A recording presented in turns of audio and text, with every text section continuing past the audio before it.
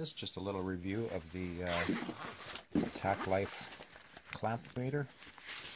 It is model CM01A. Comes with a little carrying bag. Comes with a couple of leads. And of course it's the uh, clamp meter for measuring your current. It's a nice fit for the hand. You can do a one-handed switch of the different uh, measurements. So you got uh, up to 400 amps AC, up to 40 amps AC. You've got your frequency.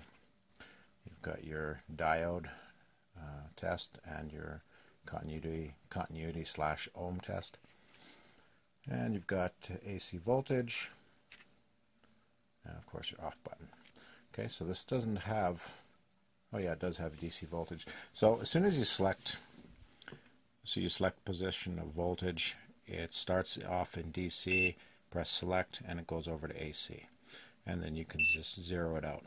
So let's just do a little current test. I'll set it to 40 amps. Again, it goes to DC right away. I switch it over to AC, zero it out.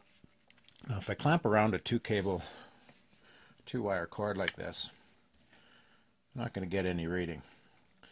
So what I've done is I've, I've made myself a little little extension cord here where I've switched out or separated the the hot and the neutral wires. So I can plug that in and then I can plug my my light into that. Okay, so now I can isolate each one. I can uh, measure around the, uh, the neutral wire. I'm getting 0.43, so 43 milliamps. Now, whatever goes in has to come out or else I've got a problem. Okay, and on this side I've got 0.43 amps, so 43 milliamps again, so that's good.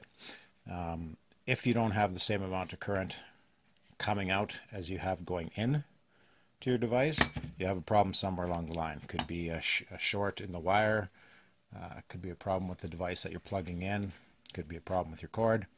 Again, I try to go around the whole cord. I don't get a reading.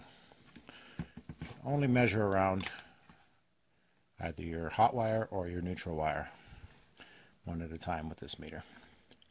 Okay, there's also a light. You just have to press and hold it. Comes on, and just tap it again, it comes off. And there's a uh, non-contact voltage. Uh, show you how that works. So when you get to the hot wire, it lights up. Doesn't do a great job with an outlet. I guess it's not too bad.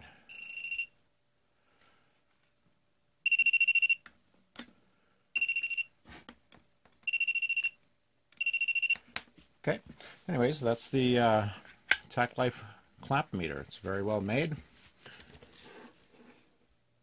Show you how these are inserted. Two probes, comes little covers for the tips as well. Very nice device.